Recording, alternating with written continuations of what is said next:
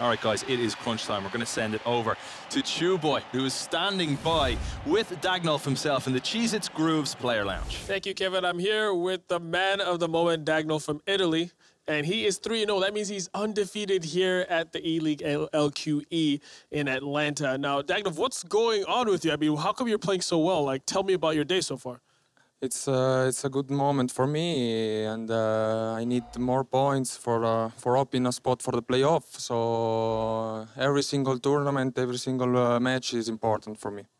Now, before the tournament, you tweeted out saying that you know you might not be able to get enough points to make the playoffs, so hopefully then make the E World Cup. But if you do get to the final, that means that you will be able to, uh, you probably will be able to make it to the playoffs. Now, uh, how does that feel going into your next match?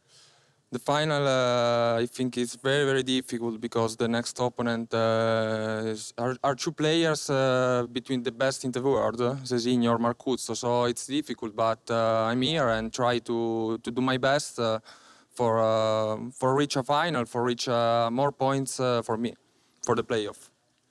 Now you do have a lot of fans in the chat from Italy. They've been supporting you all day. I think you've probably had the most activity in the chat so far. So what do you have to say to the Italian fans watching at home? A big thank you, un enorme grazie.